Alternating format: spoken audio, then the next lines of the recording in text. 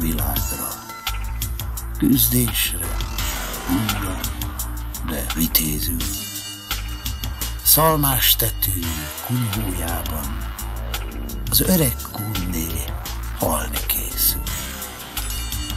Benn az ember göthal a patkán, tüdőjének, mint a rossz sípnak, meg megcsúszik lélegző hangja. Kün van, téli szelek sivítnak.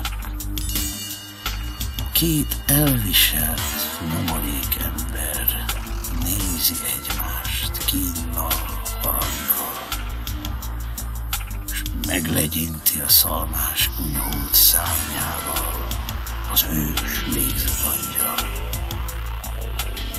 Sose örültek, és itt maradtak. Gyermekhaduk fut elszéledve szerte szomorú világban, és így kiszáradt életük ledve. Kunyhó, olajmécs, munka, éjség, gyermek, rongy, szégyen és a többi, és végül a legnagyobb parancs jött. Tessék a tüdőt kiköhögni. Az öreg kúm a múltra gondol, eszébe jut a lakodalma. Ölni szeretne. A mécs pislog, és a vénasszony ránevet hall.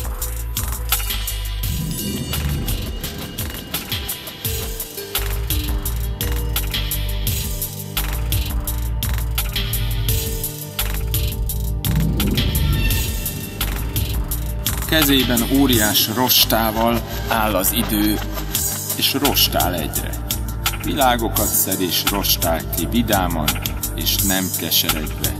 Spúsul csak az, akit kihullad. És aki kihull, megérdemelte, az bocsut az idő nem szánja. Aszott nemzetek, fült világok, tört életek miazmás vágya, halára valók, s nem kárért szóljak proféták új szavával, nem kik mertek tagadni múltat, de kik nem magvak a jövőnek. Mindig azok, akik tihulnak. Világok, népek, hírhes eszmék. Fonyattak és összezsugorodtak. Így szól az új proféta ének.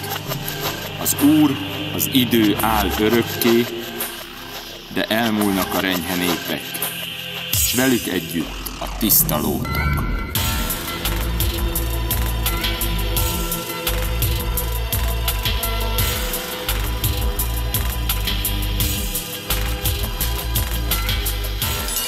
Pompás, fehér karácsony innen kidobta a szikrázó hóba, kidobta a havas semmibe magzatját, a papi kató.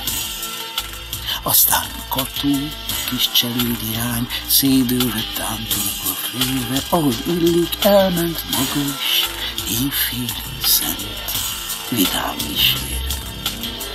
Kató gazdája, az izmos pap, s falusi nyája énekel. Dicsértessék az egek ura, hogy megszületett az a gyermek, az a gyermek ott Betlehem kató fölsír a papi szóra. És az a gyermek a betlehemi könnyezve